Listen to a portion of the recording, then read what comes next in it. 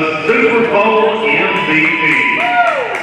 B.B. Beasley is in the irons, riding the best team in the history of Athens, Alabama. B.B. Beasley and the Super Bowl MVP. It's the Super Bowl MVP, and B.B. Beasley tonight with the Alabama Ladies Auxiliary Blue Ribbon Ride. Ben Beasley on the entry from Athens, Alabama. B.B. Beasley